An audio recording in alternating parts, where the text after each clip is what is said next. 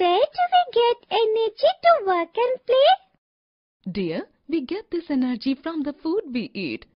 It also helps in repairing the damaged cells, helps us to grow and to reproduce. The materials in the food which help us to remain healthy are known as nutrients. However, all the food that we eat does not contain the same nutrients. To make our body fit and healthy to work and play, we must eat a balanced diet. The food we eat daily is our diet, a diet which contains all the nutrients in correct proportion as required by the body is called a balanced diet. The various nutrients needed by our body are carbohydrates, proteins, fats, vitamins and minerals. Carbohydrates are the most common food nutrients. These nutrients give energy during respiration. The rich sources of carbohydrates are sugar, potato, cereals like rice, wheat, etc. Protein help the body to grow and to repair the damaged cells. The rich sources of proteins are pulses, milk, meat, chicken, fish, eggs, etc. For infants, proteins are available in mother's milk. Fats also provide energy to the body. Same quantity of fats compared to carbohydrates provides almost double the energy. They give structure to our cells. They are the only nutrients that can be stored in the body for future use. Rich sources of fats are cooking oils, butter, ghee, nuts, egg yolk, etc. However, nearly 70% of our body's energy needs are met through carbohydrates. Vitamins protect our body from diseases and keep us healthy and strong. There are nearly 15 kinds of vitamins which are needed by our body. The deficiency or excess of any particular vitamin may lead to a disease. Like vitamins, minerals also are neither energy-giving foods nor building blocks of the body. But our body needs them for proper growth. They are required in very small quantities. The rich sources of minerals are common salt, fruits, green leafy vegetables, whole grains, cereals, jaggery and milk. Apart from these nutrients, our body also needs adequate amount of water and roughage. Water is neither an energy-yielding nor a body-building substance, but it is very much needed by the body to perform many chemical reactions. It also regulates our body temperature. The part of food that is not digested by the body is known as roughage. It is not a nutrient but is very much needed by the body. It helps in regulating bowel movement and also to retain water in the body. Dalia, broken wheat, whole grains, pulses and salads are the best sources of roughage. Along with the healthy food, exercise, rest and correct body posture are also necessary for a healthy living. Regular exercise makes the body fit and the muscles active. Exercise can burn extra fat off the body and makes us slim. It makes the heart beat faster and improves blood circulation. We sweat a lot during exercise, which makes the body cool and clean. Studying or working for long hours makes the body weak and inefficient.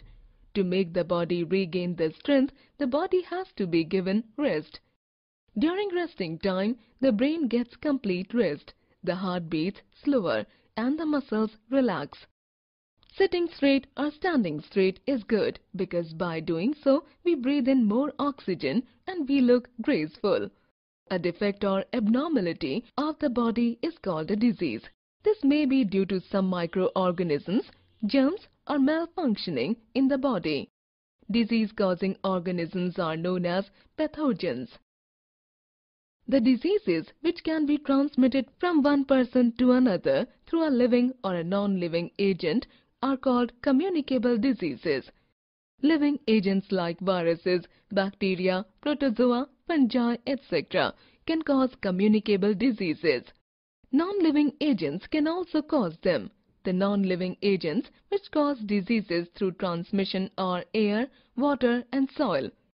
They only transmit a disease from one person to another but don't actually cause the disease.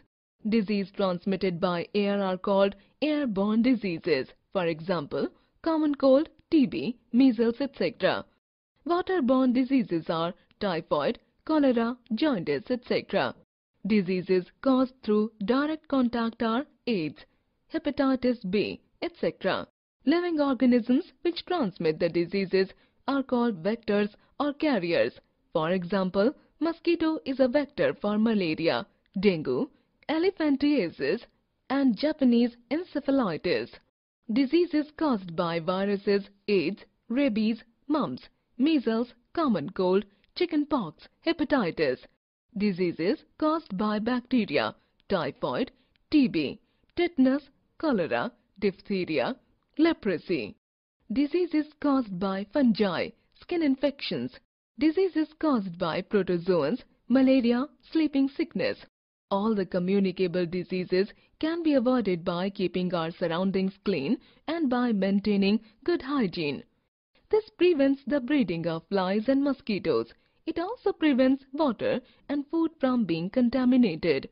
The diseases which cannot be transmitted from one person to another are called non-communicable diseases. For example, all vitamins and mineral deficiency diseases, heart diseases, diabetes, etc. Amazing fact! There are a million viruses per milliliter of seawater. The name virus was coined from the Latin word meaning slimy liquid or poison. The biggest known virus is Mimivirus, which is 0.0004 millimeter in diameter, and the smallest known virus is Porcine circovirus, which is 17 nanometer in diameter. Different nutrients perform different functions in our body. Lack of one or more nutrients in our diet or intake of insufficient amount of food may cause deficiency diseases. For example, protein deficiency causes a disease called kwashiorkor. Deficiency of protein and carbohydrate lead to a disease called marasmus. Different vitamins and minerals have different functions. Their deficiency in the diet causes various disorders which has been listed here. Deficiency diseases can be prevented if we take a balanced diet, which has all the essential nutrients required for a good health. It is a method for preventing germs from causing disease. Even when they enter the body, a vaccine is an injection or oral drops. When vaccine is taken, the body cells become alert immediately and produce substances which can fight the germs. Vaccines are specific for every disease. The power of the body to fight against diseases is known as immunity. For example, vaccines are available for diseases like cholera, typhoid, tetanus, polio, measles, chickenpox and TB. Most of these are taken in the form of injection but polio vaccine is taken orally.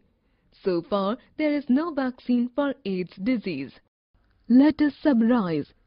A diet is said to be balanced if all the nutrients are present in correct proportion. Energy is needed to do work and we get energy from the food we eat. Food consists of carbohydrates, proteins, fats, vitamins and minerals which are together known as nutrients. Carbohydrates and fats are energy-giving foods, whereas proteins are body-building foods. Water and roughage are important for proper digestion and other functions.